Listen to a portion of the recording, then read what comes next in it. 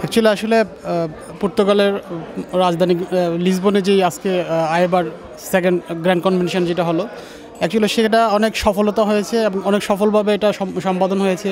আমাদের যে পূর্বের যেই প্রেসিডেন্ট সেক্রেটারি এবং ট্রাজেডার ছিল, তারা আবার পুনঃ, পুনর্নির্বাচিত হয়েছে। আর আমাদের যে একটা লক্ষ্য আছে যে অল ইউরোপিয়ান বাংলাদেশ অ্যাসোসিয়েশন ইউরোপে যারা মানে বাংলাদেশি আছে, তাদেরকে, তাদের তাদের স্বার্থটা আমরা সবচেয়ে বেশি করে দেখব। এবং আজকের এই কনভেনশনে এই জিনিসটাই প্রমাণিত হলো যে, আমরা সবাই ঐক্যবদ্ধ হয়ে হয়ে আমরা সেই যে আমাদের যে লক্ষ্য, উদ্দেশ্য, লক্ষ্যে পৌঁছানোর জন্য আমরা এক- একত্রিতভাবে কাজ করব। এই আশা আমাদের সবার।